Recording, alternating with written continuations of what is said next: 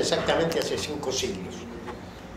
Fue cuando empezó el cambio técnico en Europa, mejoraron los medios de navegación, empezó el capitalismo en las, ciudades, en Inglaterra, en Francia, en otros lados empezaron a buscar oportunidades de comercio.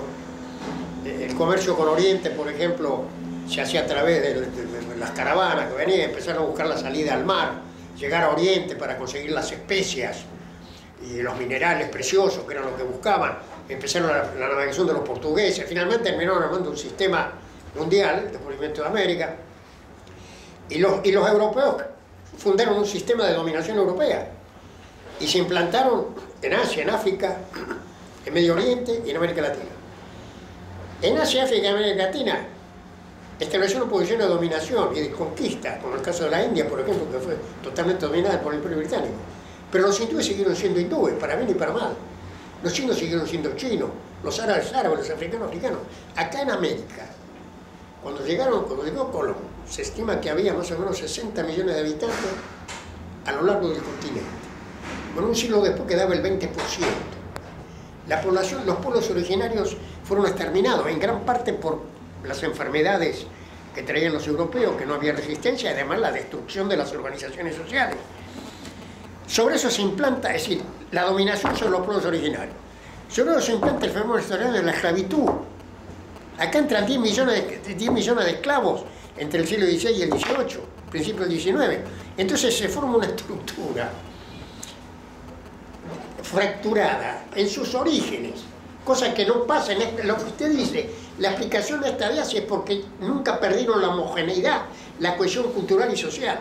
No somos una mezcolanza fenomenal con, un proceso de concentración de la riqueza y del dominio de los, de las cosas. Y al mismo tiempo, es un tema que yo siempre insisto, porque incluso para, para ver algunos aspectos positivos, fuimos capaces de crear una cultura extraordinaria.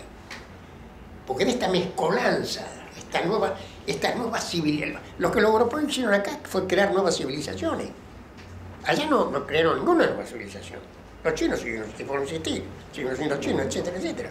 Acá hay nuevas civilizaciones. Esas nuevas civilizaciones, signadas por la fractura, la dominación y demás, la fractura social, la, mezcla étnica, ha dado lugar a una cultura fenomenal en la literatura, en la música. Decir, no se puede escribir, no se puede describir la cultura contemporánea sin el aporte de los, de los creadores latinoamericanos.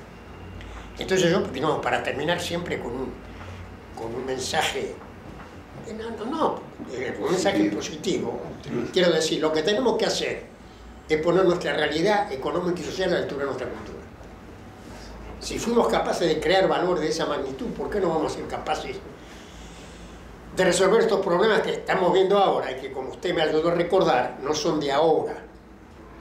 Porque estos problemas vienen desde el comienzo de la inserción de este espacio al, al orden mundial en el cual nunca logramos, estamos tratando ahora con algún éxito, insentarnos en una posición no subordinada.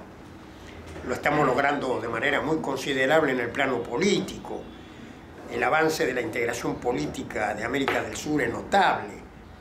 La forma en que hemos demostrado que podemos resolver problemas de la región sin la presencia norteamericana. La existencia de estos organismos, el Mercosur, la UNASUR, la CELAC. En el campo político hemos logrado un grado de autonomía muy considerable. En el campo económico seguimos soportando las consecuencias de su desarrollo y de la subordinación, bueno, periférica, ¿no? Entonces esta es la complejidad de nuestra realidad. Y bueno, y yo vuelvo a insistir como último comentario, yo creo que esto que ustedes están haciendo me parece extraordinario.